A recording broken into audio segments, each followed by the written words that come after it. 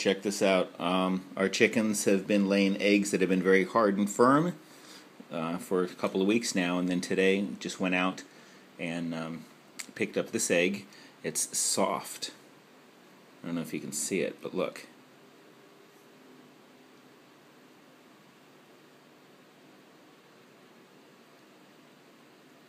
It's really weird. So you can press into it, and uh, it just hasn't fully formed. So I checked the oyster box, and it was empty.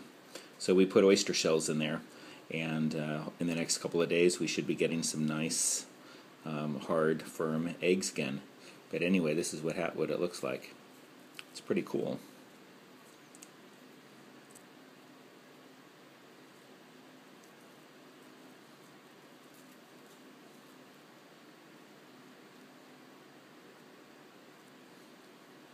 I don't want to open it, but I'm sure you could, and I bet it tastes the same as a normal one.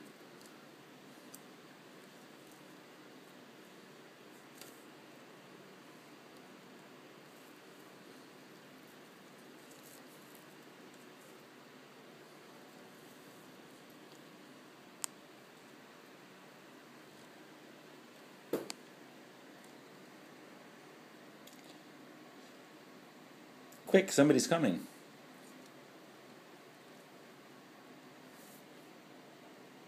Okay, they've gone. All right, you know what I'm talking about. Okay, bye bye.